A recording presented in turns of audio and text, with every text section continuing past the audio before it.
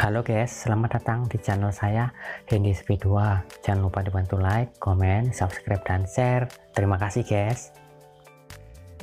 Aplikasi YouTube tidak bisa download video offline di YouTube. Ini guys, kasusnya sering terjadi di HP baru maupun HP yang baru upgrade aplikasi di Play Store.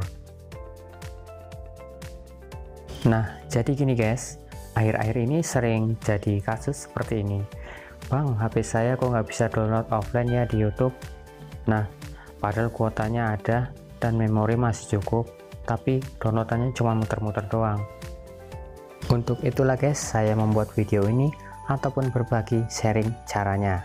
Begini caranya guys. Klik di bagian kanan atas yang berwarna hijau itu atau bagian channel. Kemudian kita scroll ke bawah guys. Kita pencet setelan.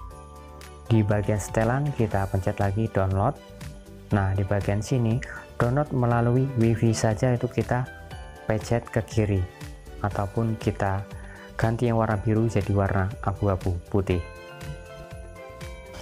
Setelah tersetting seperti tadi atau mematikan download melalui WiFi sajanya, silakan cari video yang mau di-download dan silakan download. Mudah-mudahan berhasil guys. Contohnya seperti ini guys. Ini saya mau download video lagi. Dan bisa dilihat guys presentasi mendownloadnya mulai jalan. 60% 70% nah itu udah jalan ya guys. Kalau sudah 100% tandanya sudah berhasil. Oke satu sudah berhasil. Ini tinggal yang kedua. Yang bagian atas udah 42% 60% 70% nah sudah berhasil dua-duanya guys terdownload secara offline. Ini sudah terdownload secara offline guys dan data seluler sudah saya matikan. Lihat sudah berhasil ya guys hasil download offline-nya tanpa jaringan data seluler. Berhasil. Baiklah guys sampai di sini dulu saya berbagi atau sharingnya.